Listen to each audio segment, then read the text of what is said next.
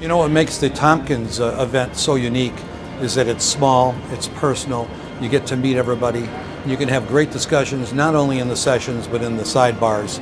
And uh, the people here are all here to learn, and it's it's just a wonderful environment. It's time very well spent. You'll enjoy it immensely.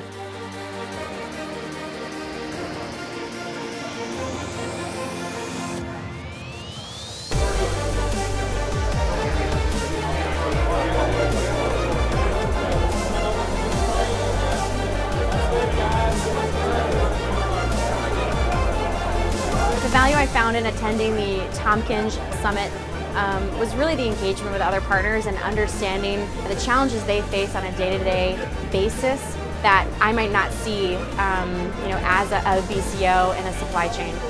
Come to hear Jim Tompkins in his annual update, uh, to hear other new ideas, and to meet other people that I can network and continue to network throughout the years.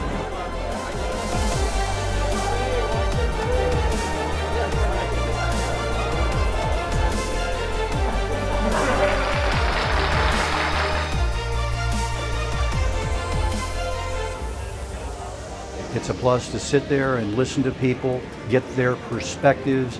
Uh, a lot of the perspectives are insightful, they're thoughtful, they certainly are timely and informative. And with that is the ability to learn from everybody uh, because their experiences are varied.